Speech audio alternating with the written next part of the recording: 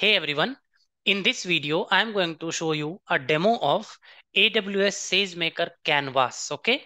And if you don't know how a low code or no code solution works, then kindly ensure you watch this video till end.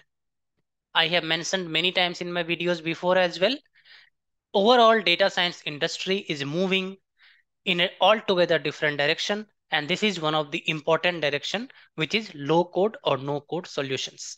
Let's go ahead and see the demo of AWS SageMaker Canvas. Okay, let me share my screen here and I will just go to my console, AWS console. And here, as you can see, I have opened SageMaker. On the SageMaker, you will see Studio, Studio Lab, and the third option you will see is Canvas. Okay, so if you click on Canvas, something like this will open. So what is a canvas? It says generate accurate machine learning predictions, no code required. This is most important part of canvas. Once you come here, you will come and click on open canvas. So when you click it first time, guys, it will take some time. The reason for that is um, it allocates many resources that you need when you are running your model. Okay, so it will take some time. But I have already opened it so that I don't waste time. And this is how your canvas will look like. Okay. Once you see this canvas, then on the left hand side, you can see models, data sets. And remember one thing, guys, once you open canvas, always log out from here. Otherwise, what will happen is, um, suppose you you forget to log out, right? So you will be end up paying for all the resources which has been allocated to you. Okay. So once you finish your uh, tutorial or once you finish your learning, click on logout. Now I'm inside this canvas. Here you can see multiple data sets are given to me uh, for practice purpose. So I will take one of these data, for example. And here, if I move this picture here, you can say import. So I can import a data very well. But for now, I will go here and click on, let's say, canvas sample housing. So it will show me what this data has. For example, this data contains data on characteristics tied to given housing price. You can use the data set to predict housing price, etc. So this is the data which all of you are aware of. Basically, this is nothing but similar to Boston data. Okay, so I will just close this. I will click on this like this and I will say create a model. Once I click on this model, I will just say my model UFDS. This is my model. Okay, I will say create. At the moment I say create, it will ask me what is your target column and what is that you want to do on this data. Okay, so let's wait till it is kind of analyzing and reading the columns, etc. So as I told you, all these processes, you know, automated and all this process does not need a single line of code. And that is the reason it will be, if you see the, if you see the um, you know, uh, front end of this, if you see how it is designed, right? It is designed that a layman can also use. So it says you select a column to predict. Which column I want to predict? Suppose I want to predict median housing price, okay? Median housing price, median house value, let's say.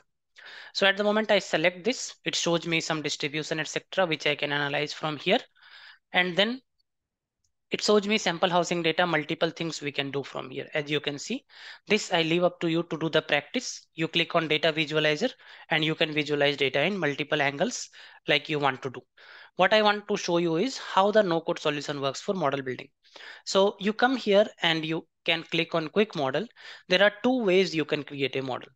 Standard build, choose accuracy over speed. Building usually takes two to four hours. So I do not want to uh, pay a lot of bill basically to be very honest okay? So i will not run this. What i will do is i will say quick build. Choose speed over accuracy. I want to do it fast okay? So let me click this. Once i click this it will take some time to build the model okay? And once it builds the model then i will come back. I'm just pausing the video because i'm not sure how much time it is going to take.